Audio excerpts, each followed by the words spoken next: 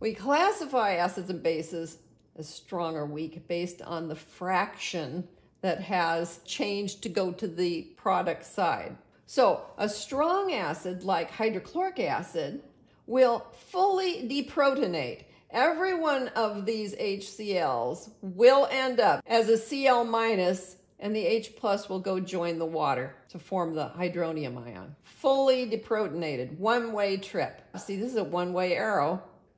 A weak acid forms an equilibrium, and we can say that it is partially deprotonated. Not all of these go over here because it's an equilibrium, but some of them, the H plus will leave, giving you a Cn minus. The H plus will add to the water and form the hydronium ion but only some of them, not all of them. And how does this look when you talk about bases? Well, here is a strong base, an oxide ion. It will take one of the H's from the water to form OH minus. It will be fully protonated. It's going to do this one-way trip, and you will just have OH minuses as a result. A weak base will get into an equilibrium. It'll be partially protonated. So not every ammonia will do this, but some of the ammonia will pick up an H plus and become ammonium ions, leaving an OH minus behind. So if you have a strong acid, your equilibrium is going to be way over to the right. Ka is greater than 1. That means you have more products. These numbers are higher than the HA is. A lot of the HA fell apart. So a strong acid it's well to the right. I have listed common strong acids here. Most people will tell you there are seven strong acids. You will notice this list has six items in it.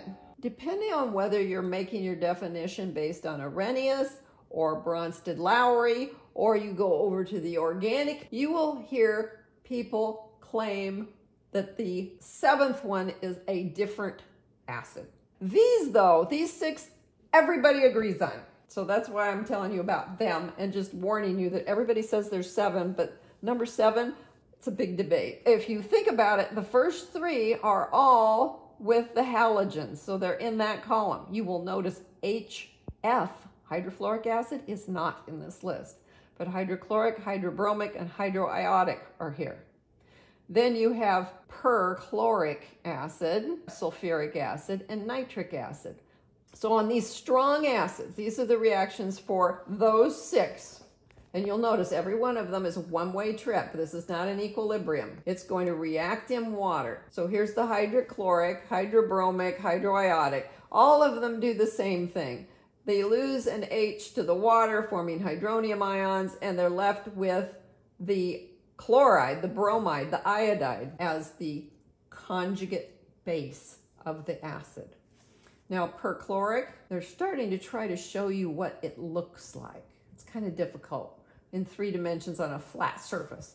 But you can see the chlorines in the center and there's oxygens attached to it and then the hydrogen is attached to one of the oxygens. At any rate, what happens is it's going to lose that hydrogen, forming your perchlorate ion. But again, we find that we have developed hydronium ions as the conjugate acid. Sulfuric acid, so the sulfur's in the center, the oxygens are all attached to it.